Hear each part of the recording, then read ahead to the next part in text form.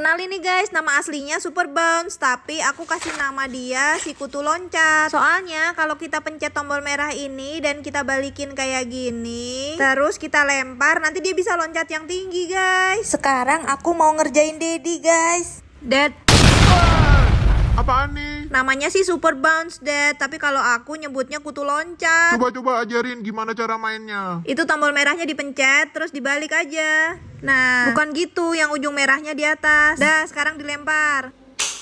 Wow, mantap. Keren ya, Dad? ya? Keren. Buat aku ya. Eh, jangan dong. Buat aku ah. Jangan, kamu beli sendiri aja, Dad. Jangan dong, pulangin. Itu punya aku.